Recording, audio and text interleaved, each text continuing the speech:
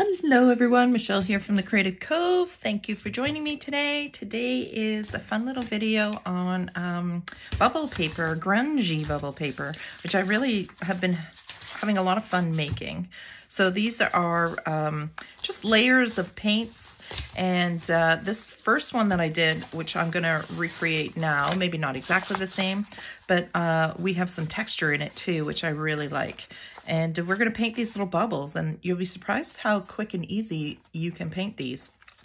So uh, let's get started. I think they make really cute little um, papers and things to add to journals. So here is a, a part of this paper that I ripped up underneath, and you can see the grunginess underneath and uh, adding more textiles to it. Here's another piece of the grungy paper. And I just think it's really fun when you kind of create your own papers and then manipulate them in different ways to make them cohesive throughout a journal, which is really fun, in my opinion anyways. So here's some other samples. So this one was the first one I did, and uh, I was really playing with the grunginess, again, sticking down different papers. And uh, then I drew some uh, little plants in there and painted those out for fun. Here's some really grungy ones with splatters. And then I thought, I really like bubbles. Let's put some bubbles in. And of course, you can do any color combination you like. Uh, this has got um, inks in it, and uh, it just got really grungy. So I just experimented and had fun. I love this little effect here. Again, that's with um, distressed oxide, I believe, which of course reacts to water differently than ink. So let's let's have some fun creating our papers. So the first thing I like to do is I, I use scraps. So all my scraps here, I just pull out whatever I can get my hands on. And I'm just going to randomly glue those down in places. Now this is kind of a, a way to use up scraps, but it's also a fun way to create some textures on your paper. So you'll see I'm not worrying about gluing the papers down perfectly because my plan is to pull these back off. And you're thinking, why would you glue them down just to pull them back off? Well, once this, once the glue is adhered and parts of the paper have stuck, it pulls and leaves a texture behind, which is really nice and fun to, uh, to keep. So Oh, I can hear the puppy coming. She is brand new. I will show you a little clip of her, but she's uh, she might hear her in the background causing trouble. I'll probably have to pause the video in between because she loves to steal my paper and chew it. I'll share uh, our newest addition to the Sharp family. Uh, her name is Millie. She's adorable, but I've forgotten how much work puppies are. And uh, how distracting they are because they're so cute. I don't get any work done. So uh, here's uh, what I do to create these papers. And, oh, I can hear my son coming to get her now. Hang on a sec. This is Millie, the newest edition. Where are you going? Come here. Come here. Look, she's already into my papers. Look, what have you got? What have you got? Is that a paper? Thank you. You can't eat that. Ew, you're going to be a big distraction. You can't have it. Thank you. Say bye-bye. Okay, so here's one I did uh, probably just be just before I started the video filming here so we can I can show you the technique. So what I do is I just start pulling off the paper. Depending how much glue you've applied and the type of paper you're using, there will, you'll, it will leave behind sections of paper. So, and again, it also depends on how long you let the glue dry, the quality of glue you're using. But I really love this messy look. I, lo I love these ripped, torn edges underneath. So I'm just going to do this and we'll paint on this one. How about that? Just pull it off. So you see these kind of transparent little bits it leaves. And then there's, of course, the texture to it. That, that makes me happy. So you can see the glue has mostly dried. I'm just gonna tear this up a bit. Even if some are peeling up, it doesn't bother me. Again, it's just more texture. Okay, so there we go. Maybe a little bit more off this guy. There we go. So it just leaves these random patches of paper behind. And when you're when you're cutting these down to size for things like tags or pages or whatever it is you're deciding to use it for, it uh, it just adds a little bit more texture and interest. So the next thing I want to do is I want to slap some paint down. So I have taken out um, my acrylic here, and this one is called uh, Naples Yellow.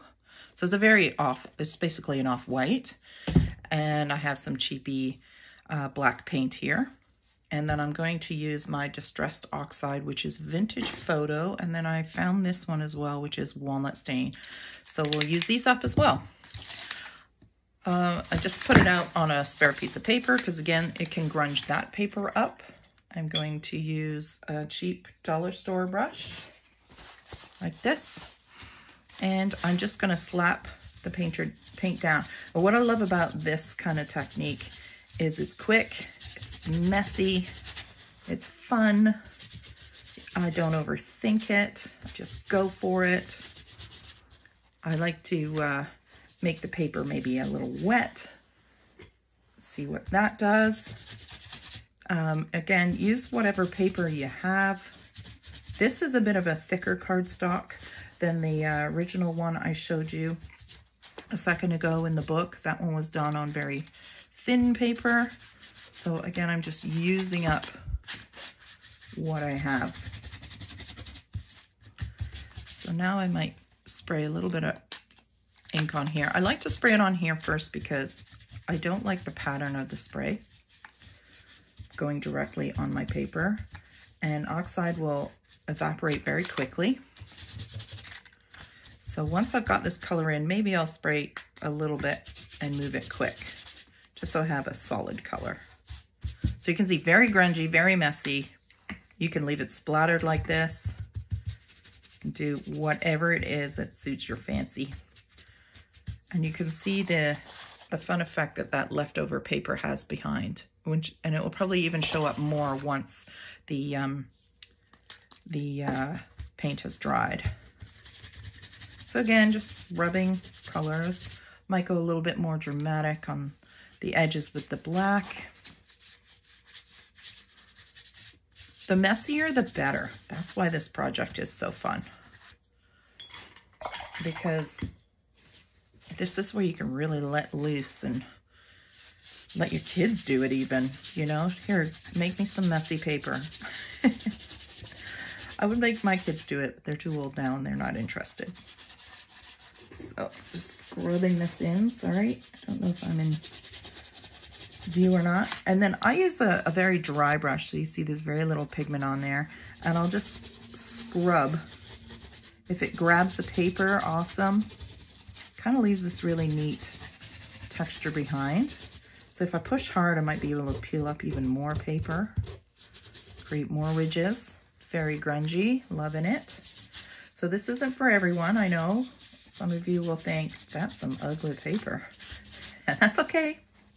But you could also do this in pinks and purples and, you know, if you're doing a butterfly kind of journal or flowers and you like your journals very colorful, that's your signature look, uh, you can still use this technique just with brighter colors and you don't get that like that dirty or grungy look. You just get the colors that you like.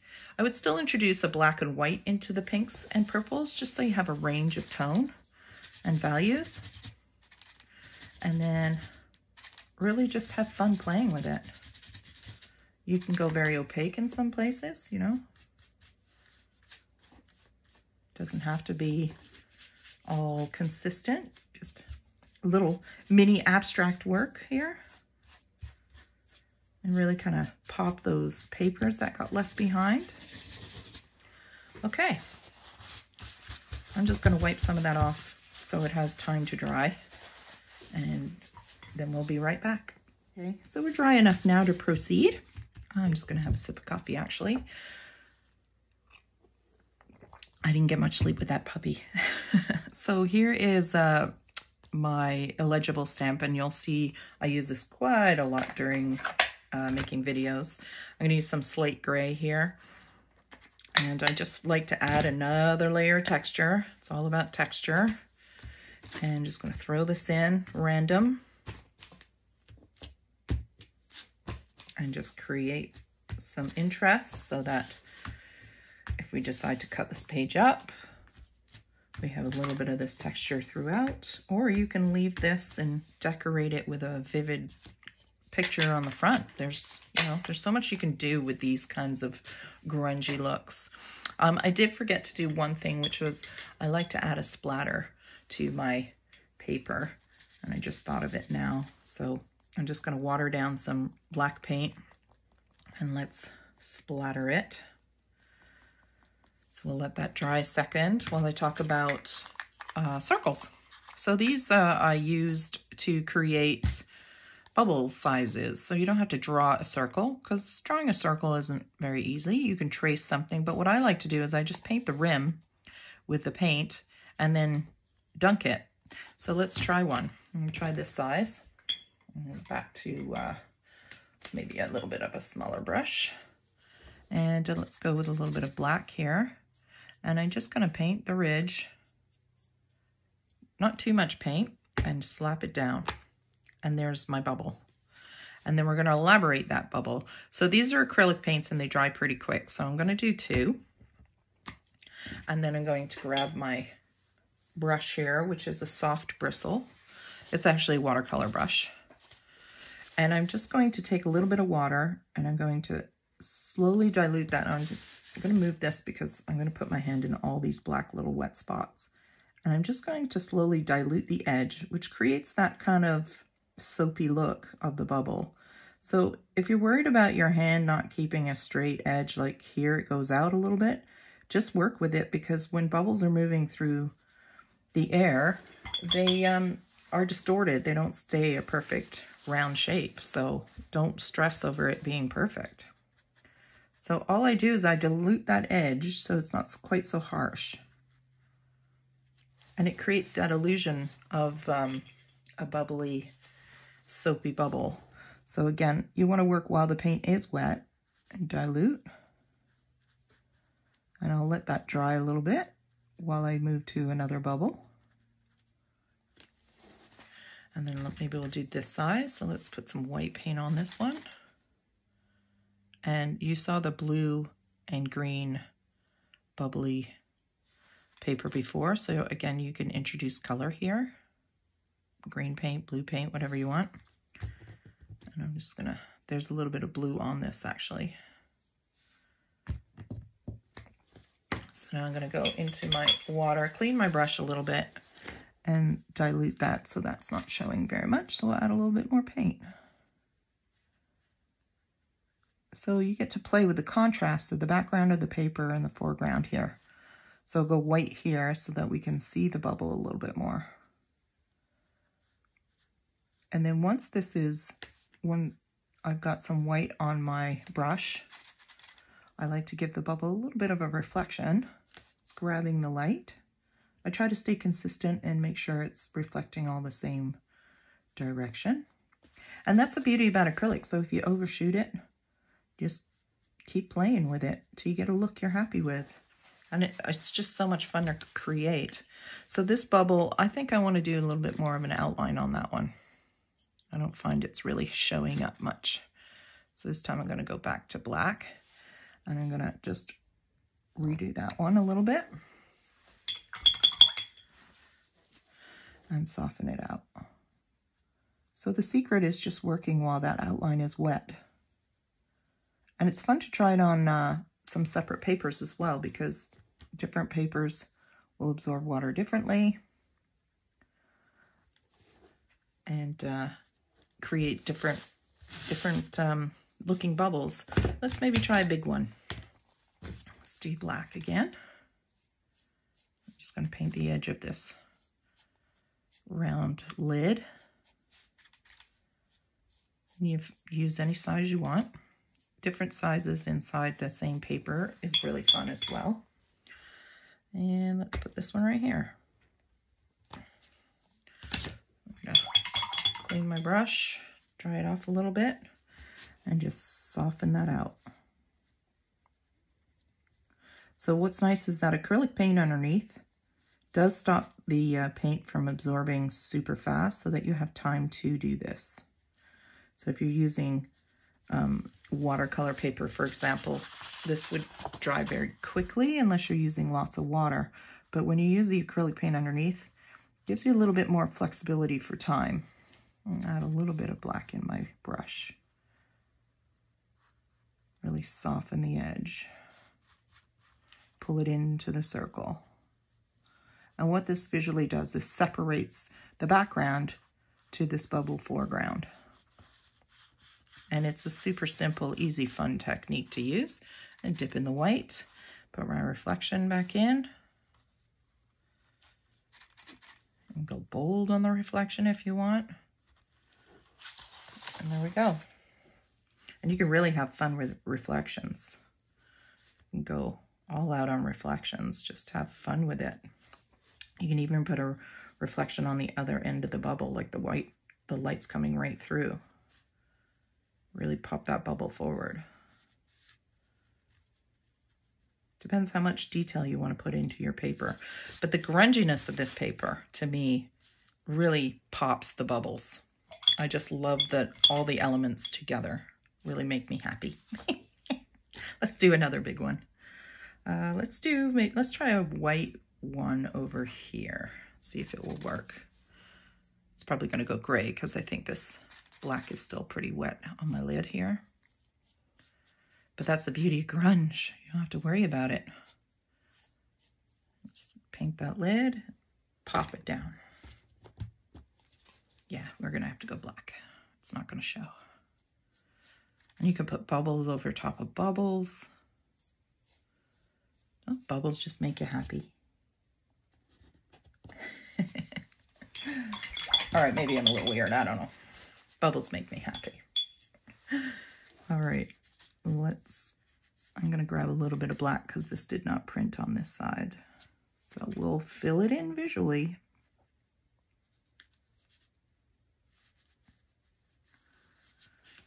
And again, don't worry about keeping your brush stroke perfect because, like I said, bubbles get distorted as they float through the air. They don't stay perfect circles.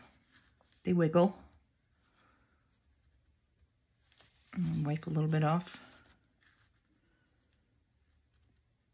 Just make that a little bit more round. So this one's changed a little bit green because it's grabbed that dirty green in there. So if you want to get rid of the green, you can just pop a little bit of black. Just, just tone it down. There we go. And then let's do our highlight. Highlight right here. Another little highlight here. Nice one here. And again, I can put another thin highlight underneath just so it looks like it's reflecting the light right through. Don't too much. Soften this a little bit. You're really just having fun playing. So much fun. So there's another bubble. So we could put this size over top of that one, just for fun. And then you can use up this paper however you like. So a bubble on top of a bubble. Soften this again. And then what's nice about the bubble on top of the bubble is even if this dries, it's okay because bubbles are translucent transparent, and uh, you would see the circle of the other bubble behind it. There you go. So have fun with it.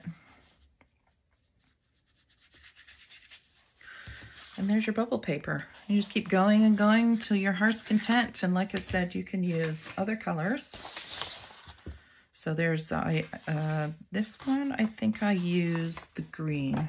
I sprayed some of this luminous spray on uh, the paper throughout and then decided to add the green bubbles on it. You don't have to use ink, you can just use paper, but I happen to like the color of the Distressed Oxides. And I like the way they um, they kind of react to water differently, this so that creates some really interesting effects. You do this on top of watercolor paper too with that other technique we've done. I wanted to show you quick too, um, this is dry now, So I'm going to see if my pen still works. So on the grungy paper, you can also do um, sketches on it. I'm just to do a real quick one here. And what I like to do again is pull the the background away from the foreground. So this is kind of neat how it looks as well, but you can take it up a notch by adding paint on top again. Now what's nice about these inks is the ink underneath will absorb into the paint over time pretty quickly, but as the paint's drying, it will start changing color. So if you put this color right over top of the, the distressed oxide, the distressed, distressed oxide is going to slowly penetrate through that paint. When the acrylics colors won't. Those, this paint will sit right on top. So you can create some really fun effects doing that, really playing with inks. Um, distressed oxide, like I said, is different than ink, so you really have to play with it. It's, you know, get to know its nature. So there you go. You can see how it really pops from the background. You can even add a little bit of black to your brush and create, change the background a little and make that pop out even more by adding a contrast behind it. So I'm using very little paint here because I don't want to cover up all the work I've done. I just want to add another layer, almost like a wash, like a veil really. And then I just pop that in maybe just put a little shadow here if you really want to make it 3D. Decide which way the light's coming and add a bit of a shadow around the parts that would be lifted. And I'm using a really junky paintbrush here. I'm not using any nice paintbrushes for this. Just gonna soften that. A little bit of a shadow here, maybe here, and in here.